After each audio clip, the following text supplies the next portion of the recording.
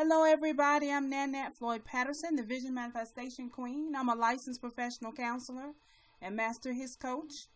Welcome to Vision Manna Moments, where I help Christian women get free from vision blockers, get clear on the vision so they can get moving on whatever it is that God has given them permission to do. Did you know that if God has given you permission to do something, you don't need anybody else's permission?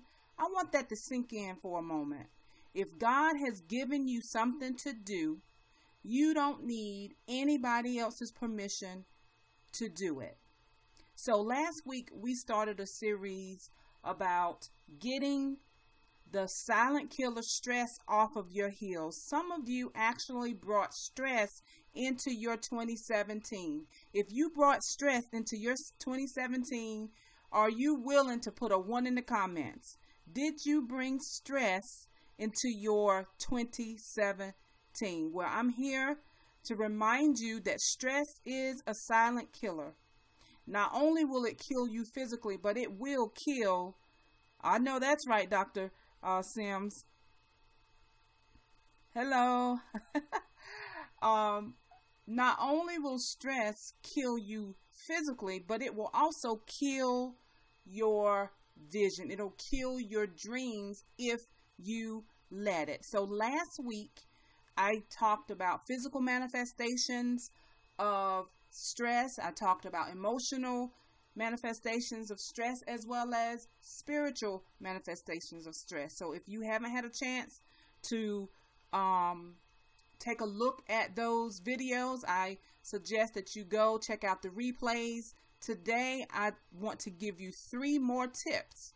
Again, I'm Nanette Floyd Patterson the Vision Manifestation Queen. I'm a licensed professional counselor and master His Coach at the His Coach Training Academy, where we train others on how to help others. So, just to recap, last week I gave you three tips to get stress off of your heels. Today I want to give you three more. I want to give you three more tips that will help you get stress off of your heels. Hi, here's Coach Francis. Great to see you, darling. So, just to recap, but as I said before, before I get into the content, I want to give you the superfood for today. I want to give you the superfood for today. Remember, this is Vision Manna Moments, and every time you come on the broadcast, you will have superfood. And this superfood is for you to meditate on, pray about, and ponder on, and ask God, what does He want you to know about you? Okay, so the superfood is something that I want you to digest, actually to chew on and digest, and basically to uh, to examine yourself. So the superfood, the superfood for today is Psalm 55 22. Cast your burden on the Lord, and he will sustain you. He will never permit the righteous to be moved. Now, I want you to take note of the word cast. Take note of the word cast. It's a verb, right? That means there's action behind that word. Okay, so that's the first superfood. The second superfood is Proverbs 3 5 through 6 that says, Trust in the Lord with all of your heart and do not lean on your own understanding. In all of your ways, acknowledge him, and he will make your path straight. Now, when you look at the word your, he's talking about you. And so, as I was meditating on these two scriptures, um, the superfood for today, God made me um, take note of the fact that we are responsible for how we respond to circumstances, situations, and events that causes us stress. We're responsible for taking action. We're responsible for responding in a healthy way. And when we do our part, we know God will do his part, right? We know that God is faithful, but the question is, are you committed enough to do what has to be done to de stress. So that is the superfood for today. Now, just to recap on the three on the three tips I gave you last week. The three tips that I gave you last week was first breathing. Breathing is so important. I don't know why people, you know, some people in our community when we're told to go through some type of breathing exercise, you know, we get really, really scared because we think it's new age. Let me tell you, God breathed in Adam first, right?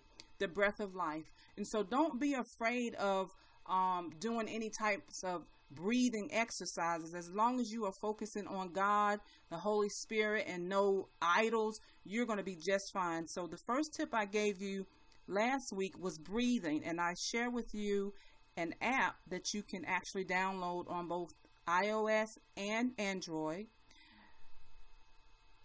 Also, the second tip was ask yourself what's within your control. And the third tip was find a secret place. Did you know that God will meet you in that secret place? That third tip I call your still time. Most of us don't do this, but we all should have a period of time where we are being still, talking to God. Just still, quietness, or you know, play some instrumental music, get some candles. I love um, uh, lavender. So last week, those are the three tips that I gave you. This week, I have three new tips for you. This week, the tips are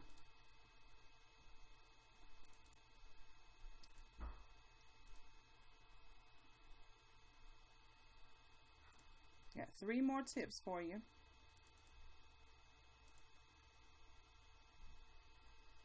You know, it's something about, you know, every now and then technology will fail you, right?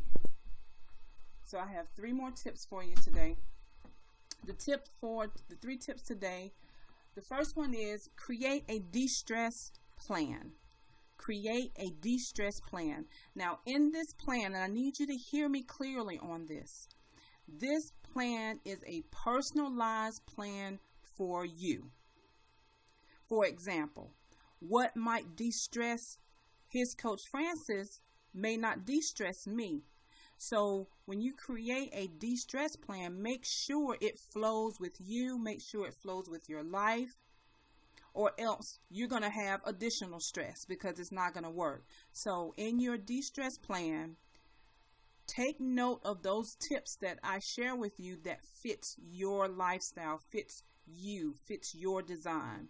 That is the key to creating the best de-stress plan for yourself. Thank you, his coach, um, Francis. So make sure your de-stress plan flows with you. The fifth tip is journal. I love journaling. When you journal, you can um, write your thoughts, write what's on your heart. But the best thing about journaling is it's a spiritual discipline. You can actually journal and wait a few minutes and allow God to make download downloads. Yes, it's it's a great spiritual discipline. Actually, I, I realized I've been you know journaling since I was a little girl. At that time, we called it um, writing in your diary. But the fifth tip is journaling, and just note the paper that you're writing on is not going to talk back to you. The paper that you're writing on is not going to judge you. The only thing I will tell you about having a journal is to make sure it's in a safe and confidential place where no one can get to it. Okay, so that's the fifth tip for today. The sixth tip, tip is to laugh.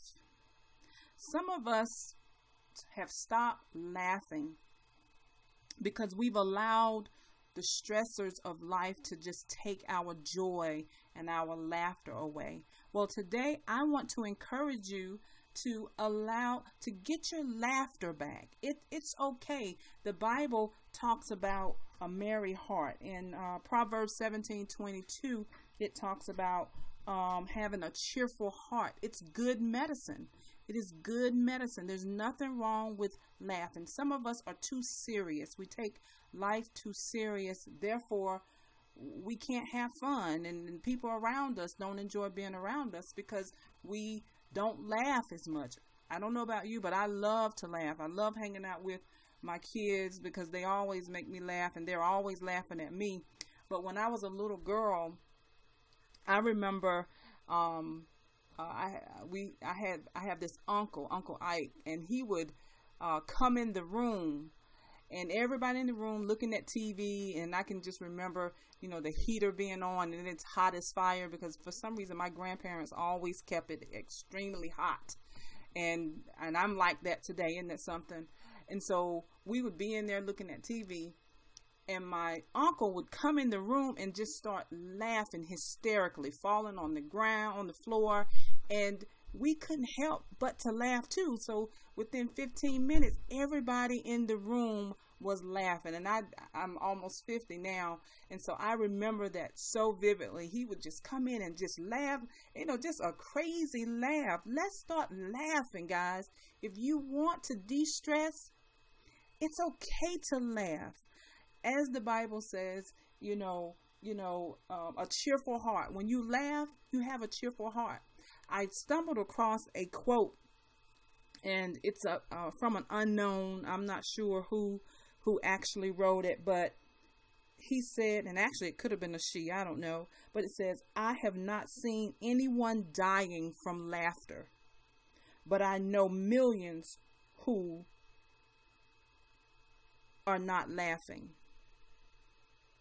Isn't that something? I just love that quote. So, again, create a de-stress plan that fits your life. Don't don't compare your plan to anybody else's because my de-stress plan will be different from yours, okay?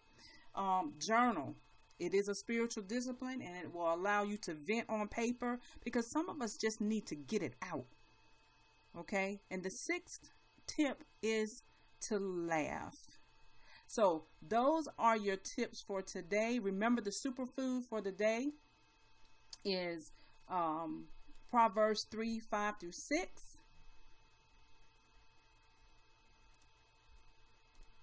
And Psalm 55, 22. Marinate on that, on those two superfood scriptures, digest it, meditate on it, ponder on it, and ask God to show you you.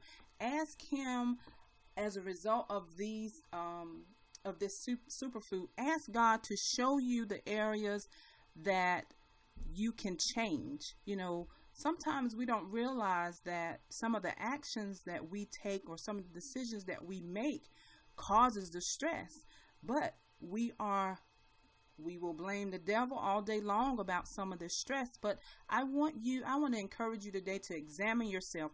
Use the superfood to examine yourself so that you can figure out what you need, right? What you need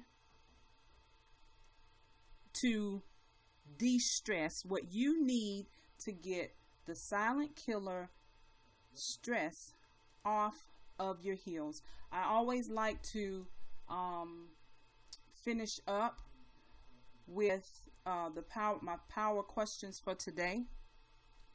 And actually, these these power questions are questions that uh, I will always end my broadcast with because you know sometimes you know when we ask ourselves questions that are filters, you know. Hope I can get my questions here. You know, questions are filters.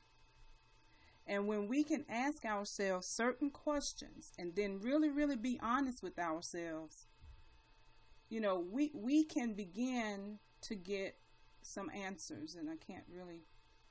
So I ask that you bear with me while I get my power questions up. Apparently, I um, did not move them over. I do know the first question is, um, what are you tolerating? Are you tolerating different things in your life?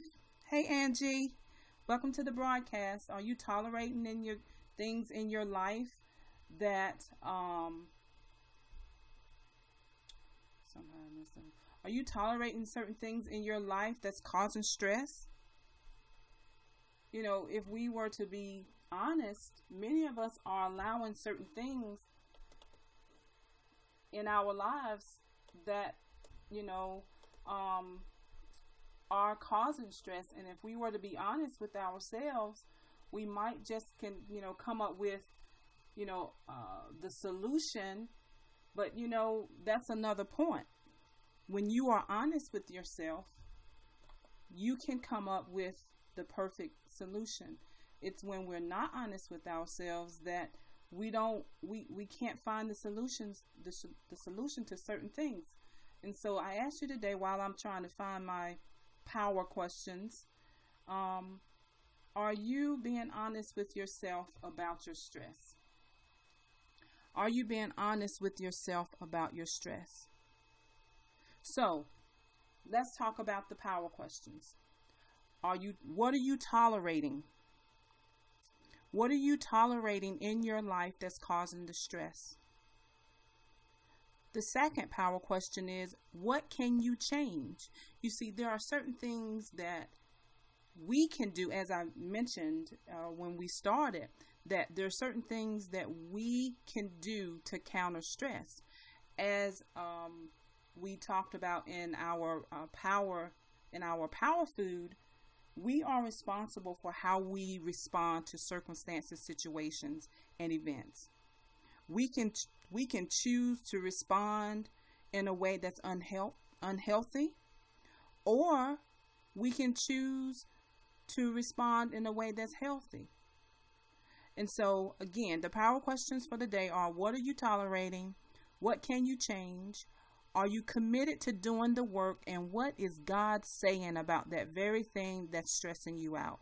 So today, I simply wanted to bring you three more, um, three more tips to help you get stress off of your heels. I ask that you um, share this broadcast. You know, if you know people who um, are living a very stressful life and you, you know, you care enough about them to say, hey, this is going to help you. I invite you to share. No pressure, of course. But I want to thank everyone for coming on my broadcast as I uh, step up my game this year. Angie and uh, Francis, thank you very much for uh, showing up. And I pray that you have a wonderful day. And I